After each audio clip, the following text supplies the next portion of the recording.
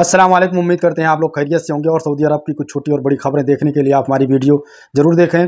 क्योंकि बहुत ऐसी खबरें हम बताने वाले हैं, वो आपकी ज़रूरत की खबर है और फाइन के हवाले से भी खबर बताने और गिरफ्तारी से रिलेटेड भी खबर बताएँगे हम आप लोगों को। और इंडिया में एक जगह पर बहुत बुरी हाल है बारिश से, उसकी भी खबर हम आप लोगों को बताएँगे। तो आप लोग वीडियो पर बने रहें, वीडियो लास्ट तक ज़रूर देखें। वीडियो बहुत ज़बरदस्त होने वाली है। सबसे पहले एक वीडियो हम आपको दिखा देते हैं, ये फ़लस्तीन की है। जब से इसराइल और फ़लस्तीन की जंग चालू है, उसमें फ़लस्तीन इसराइल की तरफ़ से लाइटें काट दी गई है। लेकिन अल्लाह हिकमत देता है, अपनी हिकमत से इन्होंने अपना काम चालू किए हैं। और सिलाई का काम देखिए, क्या हिसाब से जुगाड़ से, साइकिल से मशीन को चलाकर एक बच्चा चला रहा है और एक शख्स सिलाई कर रहा है। जो हफ्तेवार रिपोर्ट आती है, उसके बारे में हर हफ़्ता हम बताते रहते हैं कि कितने लोग गिरफ़्तार हुए हैं सऊदी अरब में।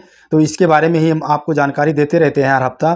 तो अट्ठारह लोगों को गिरफ़्तार किया गया है एक हफ़्ते में सऊदी अरब में। ग्यारह लोगों को गिरफ़्तार किया गया है और ये अकामा होल्डर हैं और ये पूरे हफ़्ते में गिरफ़्तार किया गया है। चार हज़ार तीन सौ एक लोगों को गिरफ़्तार किया गया है। ये बॉर्डर सिक्योरिटी का उल्लंघन कर रहे थे और इन लोगों को गिरफ़्तार किया गया है। दो हज़ार चार सौ तिरसठ लोगों को गिरफ़्तार किया गया है और ये निजामी अमल का खिलाफ वर्जी कर रहे थे और इन लोगों को गिरफ़्तार किया गया है। एक हज़ार लोगों को गिरफ़्तार किया गया है। ये बॉर्डर में एंट्री ले रहे थे उस टाइम पर एक हज़ार लोगों को गिरफ़्तार किया गया है। छत्तीस परसेंट यमनी है और बयालीस परसेंट यतूबी है और दो परसेंट अदर कंट्री के लोग हैं। बासठ लोगों को गिरफ़्तार किया गया है। ये बॉर्डर से निकल रहे थे। उस टाइम पर बासठ लोगों को गिरफ़्तार किया गया है। पूरा टोटल जो इनके पास गिरफ़्तार हुए लोग हैं, ये इक्यावन हज़ार छः सौ लोग इनके पास टोटल गिरफ़्तार हुए लोग हैं। पैंतालीस हज़ार छः सौ छः लोग ये मर्द गिरफ़्तार हुए लोग हैं इनके पास। पाँच हज़ार नौ सौ चौरानबे औरतें गिरफ़्तार हुई हैं। और आप लोगों को हम बता दें कि आप लोग जिसे अकामा देरी से आप रिनवल ना कराएँ, वरना आपके ऊपर जुर्माना पड़ेगा। और अगर आप पासपोर्ट भी देरी से रिनवल करवाते हैं तो आपके ऊपर जुर्माना पड़ेगा। और बहुत ऐसे लोग हैं कि जो सऊदी अरब में नए नए आते हैं और वो पासपोर्ट अपने कपिलों को दे देते हैं तो बहुत ऐसी सारी वीडियो पड़ी हुई हैं यूट्यूब पर, आप देख लें। आने से पहले आप वीडियो देख लें। वीडियो देख कर ये फ़ायदा आपका होगा कि आप अपने कपिल को पासपोर्ट ना दें। क्योंकि ये आपका पासपोर्ट है, आप अपने पास रखें।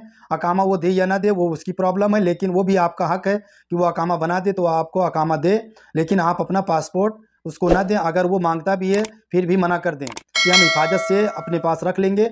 अगर आप ऐसा हिफाजत नहीं कर सकते अपने पासपोर्ट का, उसके बाद आप दे दें, कोई मसला नहीं है।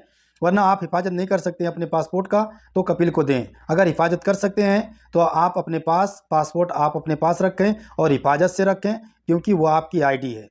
और ये खबर में यही बताया गया है कि अकामा और पासपोर्ट का एक ही खबर है कि अगर आप अकामा देरी से रिन्यूअल करते हैं तो पहली मरतबा आपके ऊपर मुखालफा पाँच सौ रियाल का लगाया जाएगा। अगर दूसरी मरतबा यही खबर पासपोर्ट की है कि पासपोर्ट भी आप रिन्यूअल करते हैं देरी से तो आपके ऊपर जुर्माना लगाया जाएगा पाँच सौ रियाल का। अगर दोबारा अगर यही गलती आप दोहराते हैं, फिर भी आपके ऊपर लगाया जाएगा एक हज़ार रियाल का जुर्माना, या अकामा हो या पासपोर्ट हो। अगर तीसरी मरतबा यही गलती करते हैं तो इतना ही जुर्माना बताया गया है कि एक हज़ार रियाल आपके ऊपर जुर्माना लगाया जाएगा, चाहे अकामा हो या पासपोर्ट हो।